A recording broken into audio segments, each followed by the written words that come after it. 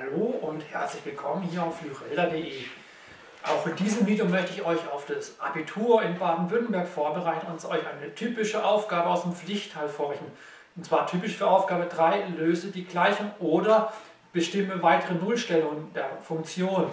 Und in dem Fall haben wir hier eine Funktion f von x und man sagt uns, die Nullstelle x1 gleich 1 sei gegeben und wir sollen weitere Nullstellen davon bestimmen. Das ist immer ein Signal, was will hier eigentlich eine Polynomdivision von uns. Und zwar, was wir rechnen sollten, wäre 2x hoch 3 plus 3x minus 8x plus 3 geteilt durch x minus die bekannte Nullstelle.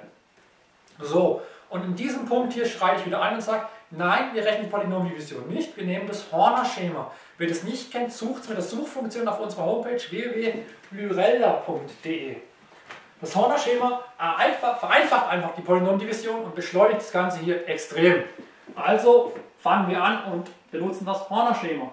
Wir schreiben die Koeffizienten der Funktion einfach in der Reihenfolge ab. Aufpassen, falls irgendeine Potenz nicht vorkommen würde, falls also ein x fehlen würde, ist der Vorfaktor natürlich 0. Bei uns kommt es in dem Fall nicht vor, aber ihr seid gewarnt. So, hier vorne schreiben wir die mögliche Nullstelle hin. Entweder raten wir die oder wissen sie.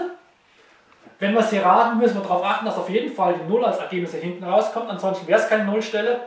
Wenn es eine Nullstelle ist, dann sind wir natürlich sicher, dass als Ergebnis eine Nullstelle rauskommt. So, dann kommt hier ein Punkt hin. Dann übernehmen wir diagonal die 2 und dann 1 mal 2 plus 3 macht 5. 1 mal 5 plus minus 8 macht minus 3, äh, minus 3 und minus 3 mal 1 plus 3 ergibt 0. Das heißt, ja, x1 gleich 1 war eine Nullstelle und als Endergebnis wissen wir sogar, wir schreiben das hier wieder ab, also x, 2x äh, plus 5x minus 3 gleich 0.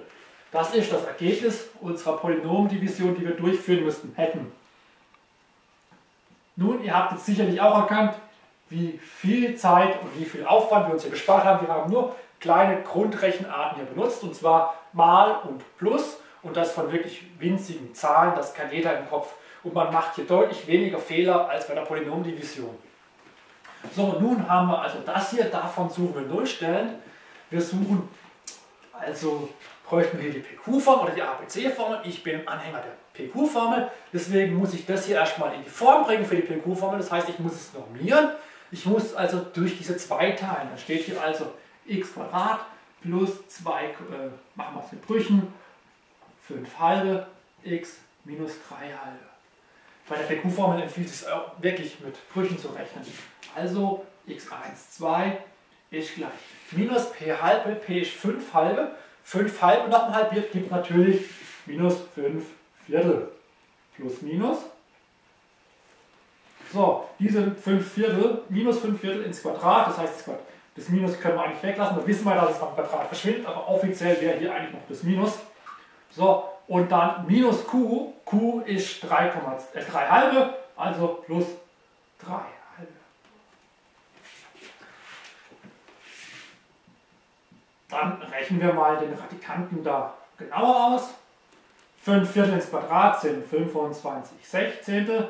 Damit wir das besser verrechnen können, erweitern wir hinten auch auf Sechzehntel. Also 2 mal 8 ist 16 und 3 mal 8 ist 24, in dem Fall 24 Sechzehntel. Zusammen ergibt es natürlich minus 5, minus 5 Viertel plus minus 25 plus 24 macht 49 Sechzehntel. Davon die Quadratwurzel. 49, davon können wir die Wurzel ziehen, ist 7, Wurzel von 16 ist 4. Das heißt, wir haben nichts anderes als minus 5 Viertel plus minus 7 Viertel. Und das heißt für uns, x1 machen wir zuerst plus, also minus 5 Viertel, plus 7 Viertel macht plus 2 Viertel, 2 Viertel kann ich kürzen, also ein halb. x2 minus, minus 5, minus 7, minus 12, minus 12 Viertel, also minus 3. Das heißt, wir haben die weiteren Nullstellen, eigentlich ist das natürlich dann x2 und das x3 bestimmt, und zwar x1,5 und x minus 3. Hier seht ihr, warum es von Vorteil ist, wenn ihr mit Brüchen rechnet. Schaut euch mal dieses, diese Zahl hier an. Das, wenn wir es hier sehen, das sind ähm, 1,75, 1,75 ins Quadrat, 3,0625 oder sowas. Das ist einfach viel zu kompliziert und davon vor allem die Wurzel zu erkennen und im Kopf zu behalten. Das ist irgendwo viel zu viel des Guten, das kann man nicht alles auswendig lernen. Deswegen rechnet mit Brüchen. Okay, danke, dass ihr hier reingeschaut habt. Bleibt uns gewogen, verfolgt uns auf Facebook und klickt auf Gefällt mir.